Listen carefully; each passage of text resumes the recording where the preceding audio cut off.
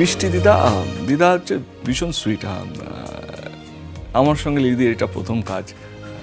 কিন্তু অসম্ভব ভালো সম্পর্ক তৈরি হয়েছে। দিদা সত্যি দিদার মতন আমার নিজের দিদার মতন। আমার, যেহেতু আমি একটু খেতে ভালোবাসি, তো উনি জানতে পেরেছিলেন তো। আমি একদিন ওকে বলেছিলাম, মিষ্টি খেতে ভালোবাসিস? ও বলে, খুব ভালোবাসি। তো আমাদের পাড়াতে একটা খুব মানে আমি যেখানে থাকি সেখানে খুব বড় একটা মিষ্টির দোকান আছে। সেখান থেকে ছ সাত রকম মিষ্টি নিয়ে আসা এবং সেটা যেন আমার মেকআপ রুমে পৌঁছে যায় যাতে কেউ যাতে না খেতে পারে বা কেউ যাতে না ওটা টাচ করতে পারে সেই ব্যবস্থাও নিয়েছেন। কিন্তু ও সেই মিষ্টিটা খেয়ে আমার ঘরে এসছে মেকআপ রুমে এসে বলে গেছে যে ভীষণ ভালো মিষ্টি খেলাম। আর তারপর তার আগে থেকেও আমাকে মিষ্টি দিদা বলতো। That was very emotional thing কারণ আমরা তো এত বছর ধরে শুটিং করছি।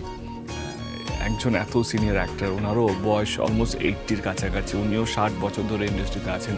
এবং আমাদের এটা প্রথম ছবি খুব বেশি দিনের পরিচয় নয় বা খুব বেশি ছবিরও পরিচয় নয়। আমি সবসময় একটু মিষ্টি ভাব রাখি নিজের ভেতরে কিন্তু ও খুব মিষ্টি।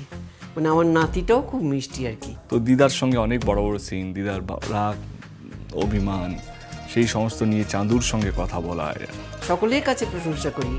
আমার বাড়িতে তো বলেইছি যে এরকম ভালো ছেলে আমি দেখিনি। এত মিশুকে, এত ভালো দুষ্টুমিও করে, আবার মজাও করে সব কিছুর ভেতরে টেক কেয়ারও করে। তো সেই জন্য আমার মনে হয়েছিল কি আমাদের টুইনিংটা বা আমাদের বসগুলো বলো বা যেগুলো হয় একটা ভালো অভিনয়ের পিছনে সেইটা কোথাও যেন দিদাই প্রচণ্ডভাবে আমাকে হেল্প করেছে। তো তার জন্য দিদাকে থ্যাংক ইউ মানে লিলিদিকে থ্যাংক ইউ